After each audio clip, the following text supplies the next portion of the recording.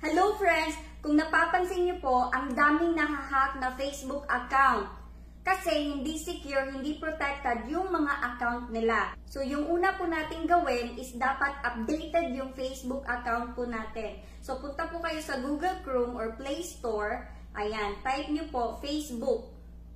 Then dapat updated. Ito po sa akin updated na. Ayan. Kung updated na po yung Facebook app ninyo, open po natin yung Facebook account. Dito sa menu bar, ayan.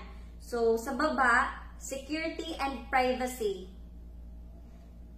Then, scroll up lang sa pinakababa itong code generator. Ayan. So, ito po yung kailangan natin i-activate. Code generator helps protect your account from hacking and unauthorized account access. So, for example, may mag-attempt, mag-try na mag-open may open yung account natin sa other device. So, hindi po basta-basta yan ma-open. Kasi nga, may code na tayo. Manghihingi po yan ng code galing dito sa account natin. Ito pong code generator, meron po yung 6 digits. Mag-iiba-iba po yan. Magpapalit po yan ng digits every after 30 seconds. So, yun po yun. Kahit na may mag-attempt na mag-open, manghihingi po yan ng code. Galing po dito mismo sa account po natin. Ayan, after natin ma-activate, back, then, balik tayo dito sa settings, profile, account, dito po tayo sa security. Ayan, then security and login.